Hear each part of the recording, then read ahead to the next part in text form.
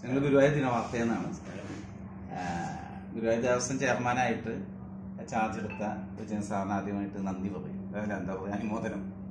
അപ്പൊ ഈ ദേവസ്വത്തിന്റെ ചെയർമാൻ ഏറ്റെടുക്കുന്ന ചരിത്രത്തിൽ ആദ്യമായിട്ടാണ് ഒരു സംസ്കൃത എന്താ തുടങ്ങി വെച്ച് തുടങ്ങുന്നത്. ഇത്തരത്തിലൊരു ഗുരുവായൂരപ്പനുമായുള്ള ഒരു ബന്ധം ഒന്ന് വിശദീകരിച്ചാൽ നന്നായി.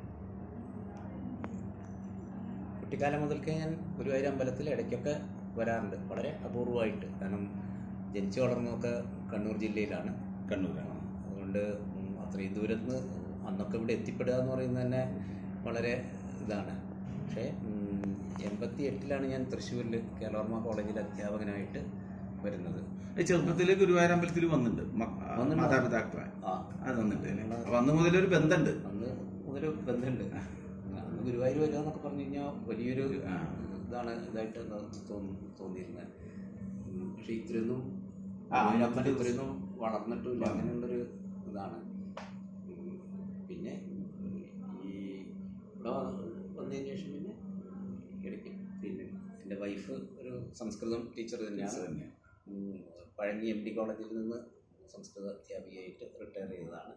ചെറിയൊരു സംസ്കൃത പാരമ്പര്യം മകനുണ്ട്. അവൻ ആയുർവേദ ഡോക്ടറാണ്. ഓ ശരി. അവിടെ കണ്ണൂരിന്? അല്ല ഇവിടെ. വേലൂർ തന്നെ വേലൂരിൽ തന്നെ. അങ്ങനെ രണ്ടാമതൊരു മകനുള്ള ആൾക്ക് സംസ്കൃതം ഒരു യു സ്കൂൾ തലത്തിലൊക്കെ പഠിച്ചിട്ടുണ്ടായിരുന്നു പിന്നെ എഞ്ചിനീയറിംഗ് വേളറുദേവിയിലാണ് ജോലി ചെയ്യുന്നത്. പിന്നെ എന്തായാലും സംസ്കൃതം സംസ്കൃത കുടുംബമാണ് ഞാൻ കുടുംബമാണ്.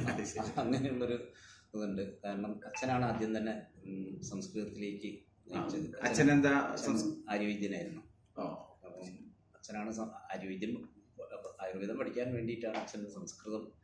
പഠിപ്പിച്ചു തുടങ്ങിയത്. പക്ഷേ പിന്നെ എന്തൊക്കെയോ കാരണങ്ങൾ കൊണ്ട് ഞാൻ അങ്ങനെ സംസ്കൃതത്തിന്റെ ഇതിൽ എത്തിപ്പെട്ടു. അമ്മ?